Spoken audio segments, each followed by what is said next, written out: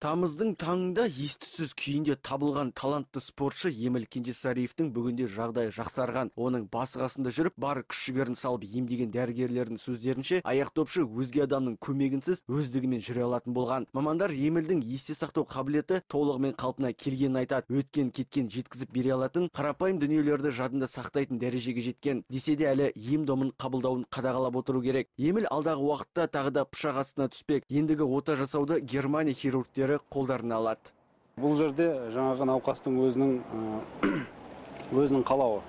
Егер науқас жасатам десе ол операцияны жаңағы жасауға болады. Бірақ сіздерге алдыңғы жолы айтып кеткендей бұл операцияның мақсаты бас сүйегінің бүтіндігін қалпына келтіретін операция. Сондықтан ол операцияны да жасай аламыз осында.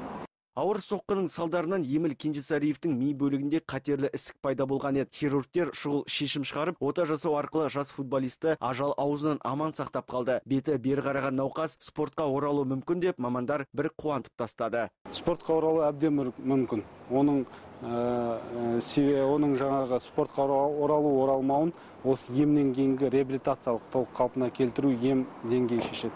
Егер ем жақсы дұрыс дер кезінде көрсетілетін болса оралу әбден мүмкін.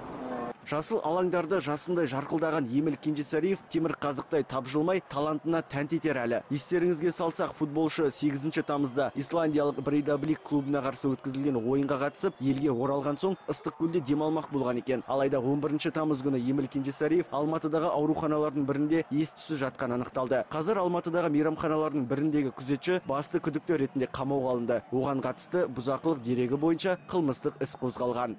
Қайырбек жайлыбекұлы талап сағынбаев алматы телеарнасы.